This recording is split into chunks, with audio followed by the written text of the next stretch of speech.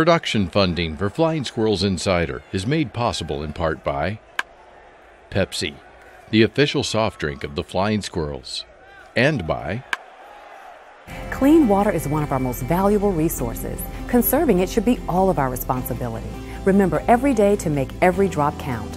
Wash full loads, take shorter showers, turn off your faucet. Water. Use it wisely. Let's commit to conserve.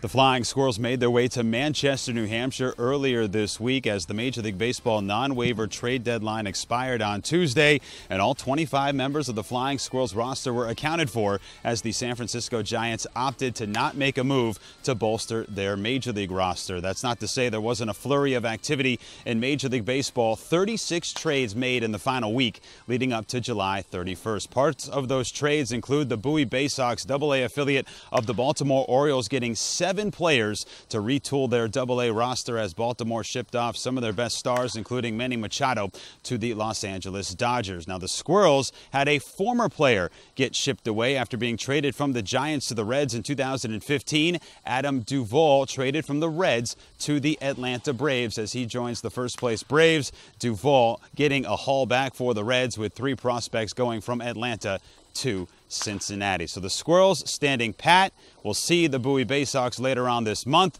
And here's a look at some of the biggest trades that the San Francisco Giants have made since the Flying Squirrels became a team back in 2010.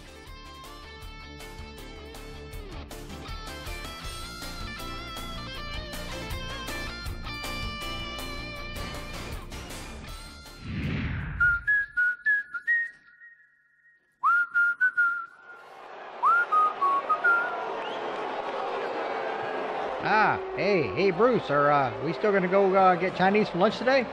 I was thinking about getting some subs this time. Well, well I, I thought Chinese was what we had No. decided on. Why not? Why do you Why do you get to choose Why without me it having always anything to do to with you? it? I don't want to want to get lunch with you. I, I had my like hankering all set for some Hold on, pork, and you can't put that hold on a piece of bread. I say we're going for try. Chinese, like we Calm said we were going to do. Willie. We'll just go by Let's yourself. go. I don't want to go by myself. Let's get back to the ball game. We made plans. There's restaurants all over here. We could go here. We could go there. Come on. I want Chinese today. Ugh. Wait, wait.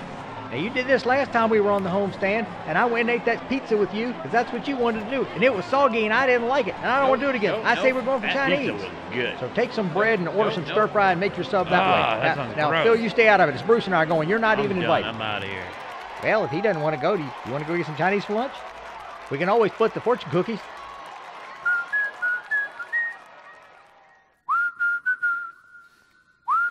Make or break time for the Richmond Flying Squirrels. Believe it or not, we've reached the final 30 days of the 2018 season. We'll get into it here on the desk segment, but first we'd like to remind you if you want to win free stuff, text us to FSI at 63975 with message and data rates applying. Mobile services provided by Optin Technologies. Flying Squirrels Insider here brought to you by our friends at Utility Buddy from the City of Richmond Department of Public Utilities. They make us aware of Richmond's natural gas safety program. Getting ready to install a fence or put an addition onto your house? Contractors, homeowners, and do-it-yourselfers call 811 before you dig. Also, big news Utility Buddy will be at the Diamond on August 11th, which is incidentally the National Recognition Awareness Day of calling 811 before you dig. Looking forward to that as we dig in to what the Flying Squirrels have in store in the final month of the season. I'll bring in my broadcast partner, Sam Ravitch. And Sam, as we take a look at the standings, not a lot has changed for the Flying Squirrels since we sat at this desk two weeks ago. No, not a lot has. Uh, you know, the Squirrels have just kind of tread water. They're down at the fifth place spot in the Western Division right now. You're seven games back from playoff spot, and that's kind of where it's been the last couple of weeks. Now, the Squirrels certainly have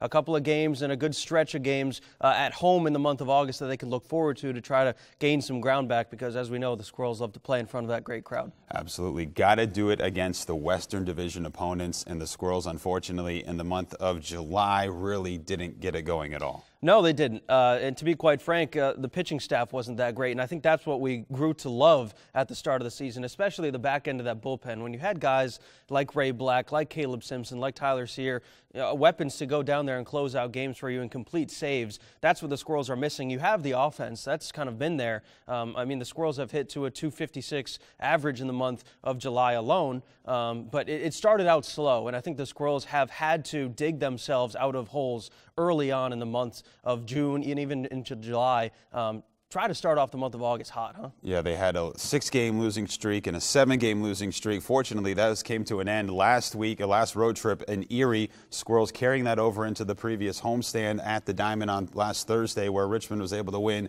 an exciting 3-1 victory over the Reading Fightin' Phils. Now, part of those struggles for the Flying Squirrels do not include one of the Giants' top prospects in Aramis Garcia. He has really salvaged his season after a slow start. Yeah, and Aramis is one of those guys that the Squirrels have had to rely upon when Jerry Sands has departed up to AAA. And, you know, for Garcia, a guy who was batting down towards the 6 7 spot, they were just trying to get something out of him, try to make contact. And now all of a sudden, you're starting to see the confidence. And, you know, we've talked to Aramis Garcia over the past couple of weeks. Um, you know, what's changed? And he said, look, nothing's really changed all that's changed is I'm starting to find some base hits and the ball's leaving the park a little bit more. But the confidence is there. I think that's something that changes whether you know it or not. And Aramis is certainly one of those guys that the Squirrels hope to rely upon to provide some of those big hits and clutch hits down the stretch. Great dude to be around as well. Yeah. He'll join us here on this episode of Flying Squirrels Insider. So Garcia, whose average at one point on June 17th was at 194, now up over the 230 mark. The Flying Squirrels have been in a lot of these games, however, Sam, there's been quite a few close calls in the month of July. Yeah, there has been. And unfortunately for the Squirrels, not too many of them have gone their way. was a tough stretch in Akron on the previous Yep. road trip for the Flying Squirrels. They lost four straight. Three of those games they had the lead. However, one guy uh, that we haven't talked a lot about on this show this season is Ryan Halstead, who has been solid out of the bullpen, filling in for guys that are gone, like you mentioned, in Caleb Simpson and Tyler Cyr. What does Halstead mean to this team? Uh, he's, I mean, you can't replace a guy like Ryan Halstead, even though he doesn't talk all that much. A very Uh, quiet he- demeanor. He's a quiet California cool surfer dude um, from Rancho Cucamonga, California. But yeah, what he provides is coming in and eating up innings, and he gets a lot of ground ball outs too. I think that goes, um, you know, kind of under the radar. He, he gets a lot of double plays behind him, and I think the defense one plays well behind him. But one thing he's improved this year, I think, is the velocity too. I mean, he he was living around 90, 91, but we've seen him crank it up to 94, 95 this year. Big frame, a guy that uh, the Giants certainly like. And in fact, Halstead this year was called up at the end of May to AAA and then unfortunately suffered an injury three games into his stint at Sacramento. So coming back from that injury, he certainly has helped stabilize the bullpen. Speaking of stabilizing, how about Conner Menez being able to stabilize the Flying Squirrels rotation that has been in flux due to promotions and injuries? And this guy really has certainly helped lead the Squirrels in that staff. Well, Jay, when you think about it, and we've talked about it too on our broadcast, the Squirrels haven't really had a left-hander up until Conner Menez. I mean, you have Diaz down in the bullpen. Garrett Williams was a left-hander, but he really wasn't going all that far in your uh, in his starts. So now you have a guy like Conner Menez who can go seven innings consistently, and he can give you those innings. Now, I think what Menez brings is he's got the velocity, he's got that hammer of a curveball, meaning that it drops down 12 to six, um, and it comes over the plate. And I think for a guy like Menez, he throws strikes and he gets a lot of outs too. Um, but more importantly, he eats up innings for He you. certainly does. Consecutive seven inning appearances for Menez, almost three straight, went six in the third after those first two seven inning starts. Sam, last one for you here. Squirrels wrapping up. We've got about 30 games left. Uh, you've got one guy we'll take a look at here, and Chris Shaw, a little bit of, uh, of, of kind of a rehash for the Flying Squirrels, and what he's been able to do up at AAA has been fantastic. Yeah, how about that too? I mean, the Squirrels uh, would certainly like to have a Chris Shaw here, but we knew when he was here last year he wasn't going to be here very long. To see what he's doing up at the AAA level, he's one of those guys where you say, "All right, this guy's next." He leads the Giants system in home runs Yeah. with 20, so we'll see if he maybe is on the move or if he's up in the big leagues at some point soon. Final one for you. Probability here for the Flying Squirrels to go to the postseason. Uh, 35%. All right, we'll take it. That's a little bit optimistic. That is so, absolutely. I mean, All right, thanks a lot. Thank you. All right, more to come here on Flying Squirrels Insider. Stick with us.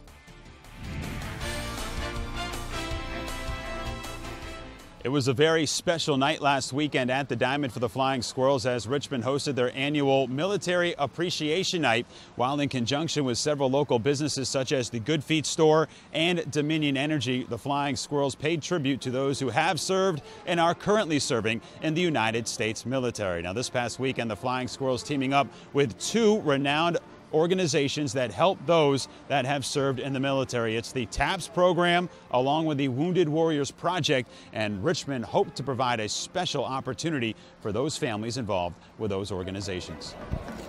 Pitcher Sam Wolff representing his jersey number 13 to Army Sergeant Omar Delgado.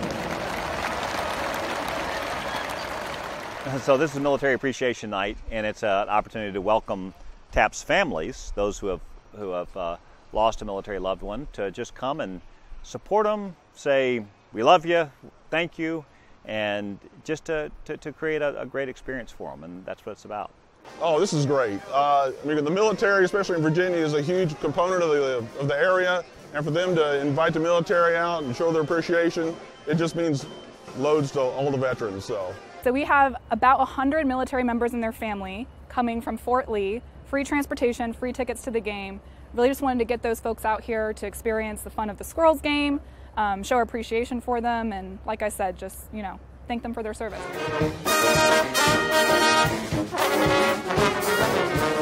This is our first time ever come to a baseball game, so we're really excited. So I have my, uh, I have my son, uh, Keaton, I have my daughter Kyra, I have my other daughter Chloe, and I have my son Cadence. So we're all from Fort Lee. You think about maybe the you know the mistakes that we make on the field versus the mistakes that you know that they make and they can that that can cost them their lives. Um, I think uh, it definitely puts things into perspective and makes you appreciate what we have and um, you know the opportunity that we have to play baseball. Every time we talk about it, it helps us in our journey as well. People think that um, they don't want to tell a story, but speaking about it makes it a little easier. A little easier. Because yeah. the hole in the holes in our heart will always be there, and we're always going to miss John. Right. um, Christmas, Thanksgiving. Yeah. We, we, his you know, we keep moving forward and taking steps forward because life still goes on.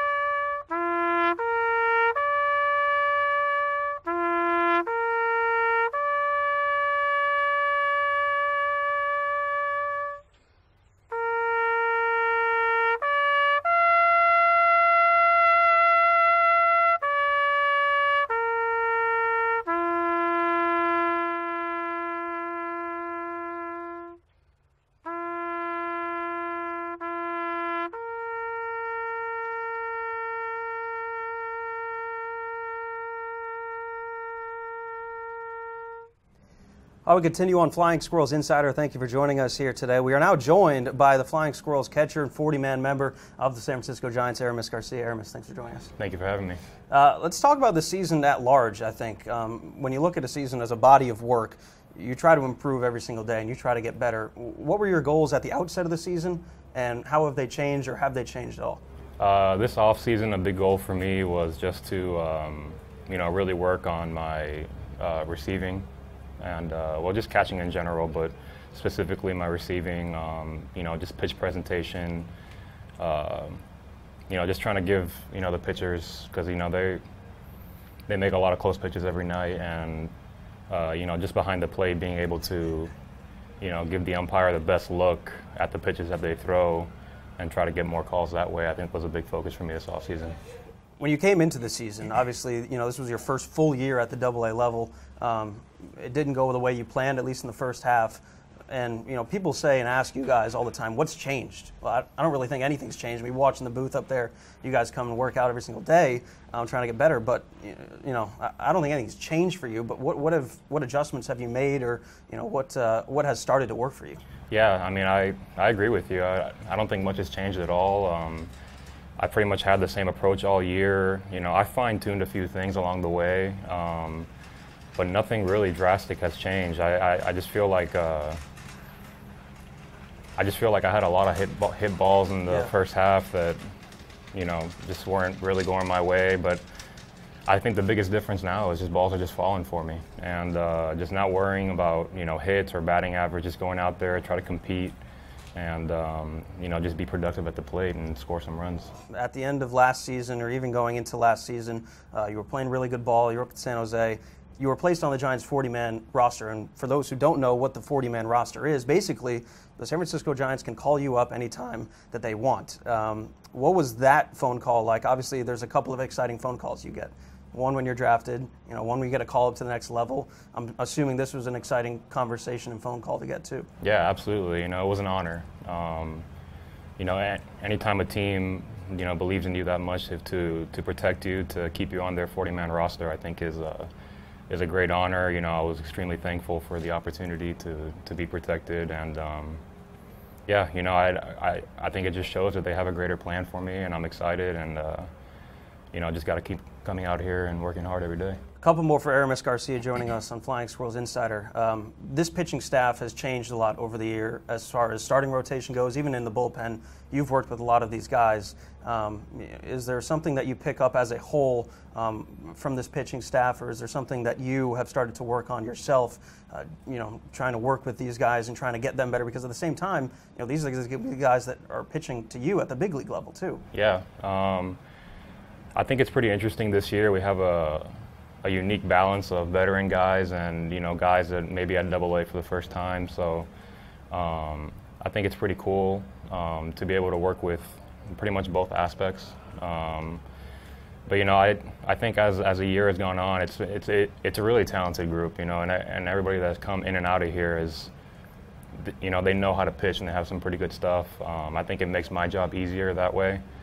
I think as a whole, just getting guys to buy into, um, you know, locating pitches and, and, you know instead of maybe throwing your hardest fastball. You know what I'm saying? Uh, so I think just getting guys to, to buy into that and you know just continuing to work every day. Now you had a lot more hair last year. It's starting to come back, but yeah. is that something that we're working on? Or are we just seeing how? It, I mean, you're playing well, so I don't know if you want to cut it now. Yeah, um, I'm getting married in November. Oh uh, boy! So that was uh, that's a big reason why it's coming back. It, I cut it really short before Christmas. I kind of regretted it. Um, my dad always brings up the Samson story. Oh yeah. Um, no, but uh, you know, it's just you know, it's baseball season. You know, I, I think uh, good hair comes with baseball, so I'm just growing out a little bit. Aramis, thanks for joining us. Thank you. We got more coming up on Flying Squirrels Insider after the break.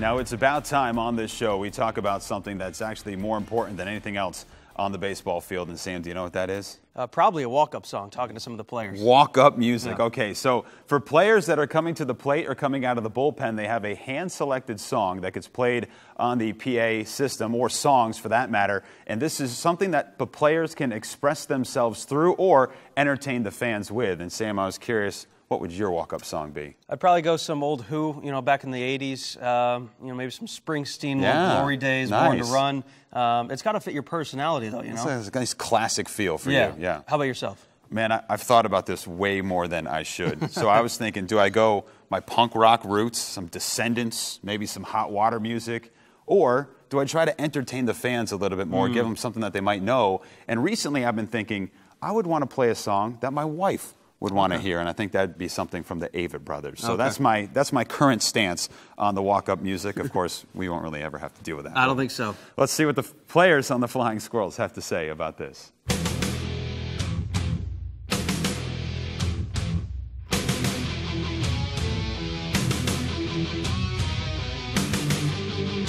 For me, it's something that you know it's personal to each guy, but I want something that I feel like I'm going up there and I know I'm going to hit a ball hard. That's all it is for me. Finna take off on spaceship. Y'all these hoes like Matrix. Ain't fucking unless she nameless. Cause the last two was too famous. We got that trophy like a champ.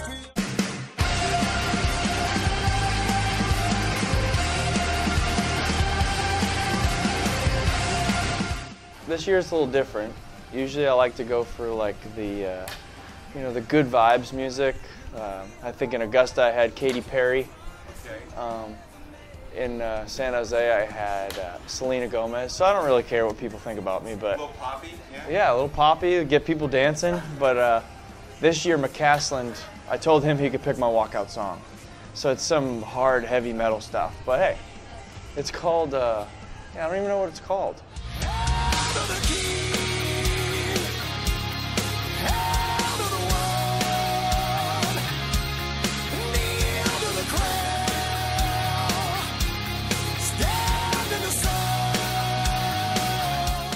Personally, I think I mean it's a little bit of both. I like something that I can I can get pumped up to, but also it gets like the crowd's like, oh yeah, what song is this? I like this song. Or other players are like, hey, what's your walk up song? It's a compliment. I like that.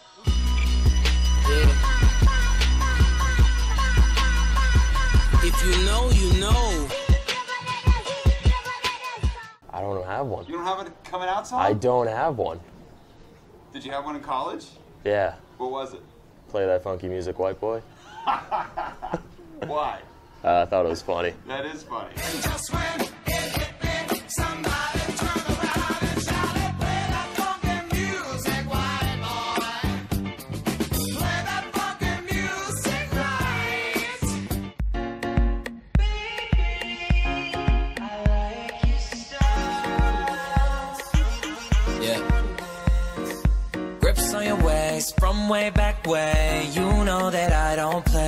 For me, I can't I, I can't have a song going up to the plate that pumps me up. I feel like it, I get too amped up when I get into the box. Like um, like like earlier this year, I, I picked uh, "I Like It" by uh, Cardi B, and it was a little bit a little bit too much for me. Uh, this year, or um, my second choice was a little a little more low key. You know, "One Dance" by Drake, kind of calming, relaxing, and uh, I like that one. The worst walk-up music. The worst. I don't know. I don't have too many bad ones. Aaron Mitchell last year had that awful one. Terrible. Would, I don't even know what it was. It was terrible. He, no, he'll, he'll get mad, but he, I hated it. Yeah. You see, he, he tells me that he's like, I know I want, I want to do something that's like me, like nice, relaxed, blah, blah, blah. But then he went with like Cardi B, which is like the opposite of relaxed. So I don't know. Best walkout on the team. Got to give it to uh, Ali Castillo. Don't know who sings it. Gets me moving. I'll probably say fan favorite.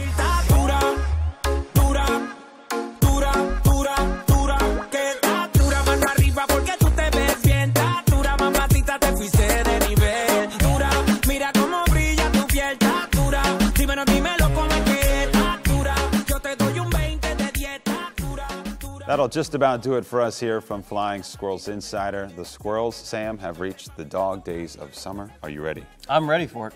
Might be a little bit toasty out there. Hey, we've got three dog days at the Diamond left this year, so three Bark in the Parks remaining. Should be a lot of fun. And Squints is coming too. Oh, Squints too. Yeah, certainly. We'll, we'll certainly uh, try to get him on the radio broadcast as well. Big thanks to everybody for joining us in this show, and a huge thanks to our friends here at the Community Idea Stations at the WCVE studios. Before we say goodbye on this show, we'll take you back to the Flying Squirrels trip in Erie, Pennsylvania at UPMC Park. The first and only time this year the Flying Squirrels went to Erie, and here's what it looked like. This is crazy, guys. I read of a minor league baseball team in Pennsylvania selling a hot dog wrapped in cotton candy topped with nerds. Look at this thing. Yeah, and instead of condiments, every one of those comes with a cry for help. Really? Yeah, that's very I'll take two, please. Well, the bun is uh, is cotton candy, and then uh, we use a jumbo Smith's hot dog, um, which everybody in Erie can tell you is a great hot dog. So, um, not that it ever needs cotton candy or nerds, but um, and then you know it's topped with nerds instead of ketchup or mustard. A lot of people don't understand what uh, minor league baseball promotions go for is getting your name out there, getting people talking. Uh, so that's that's the point of minor league baseball promotions, and I think that's what's most fun about uh, working in this industry. At first, there was a lot of hate, uh, a lot of people, you know, a lot of disgusting puke emojis and uh, gifs of people, you know, heaving and. I had the cotton candy hot dog last homestand, and I didn't think it was that bad. Um, I'm a big Nerds candy guy, and I think the Nerds kind of overwhelm the flavor of it a little bit. So you don't really taste hot dog or cotton candy. It's just a lot of sugar from the Nerds candy hot dog. So it was. I, I don't think it was that bad. Um, people get really afraid to try it, but afterwards they're like, oh, that wasn't that big a deal. We've been selling quite a bit. Um, I would say we probably sell 20 a night. Uh, Yeah. Weekends it gets up to 50 or 60.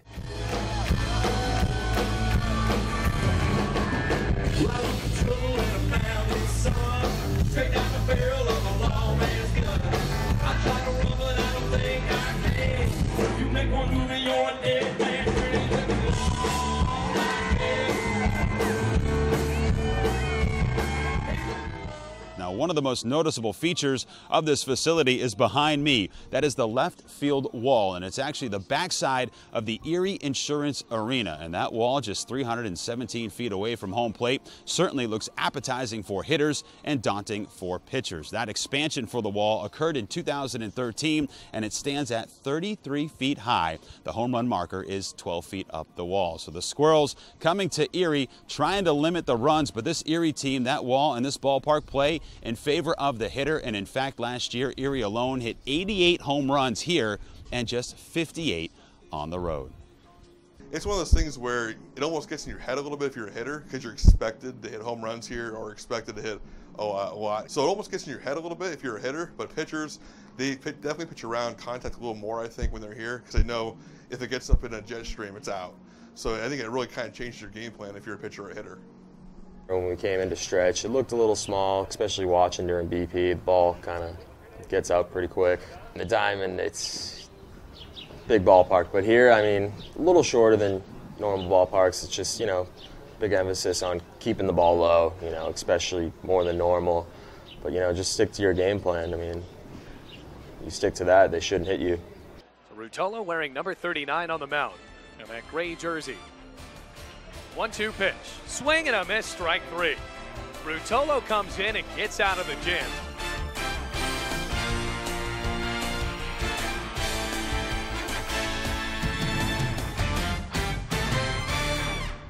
Production funding for Flying Squirrels Insider is made possible in part by Pepsi, the official soft drink of the Flying Squirrels, and by Smell gas? Act fast. Don't just stand there. Leave the area.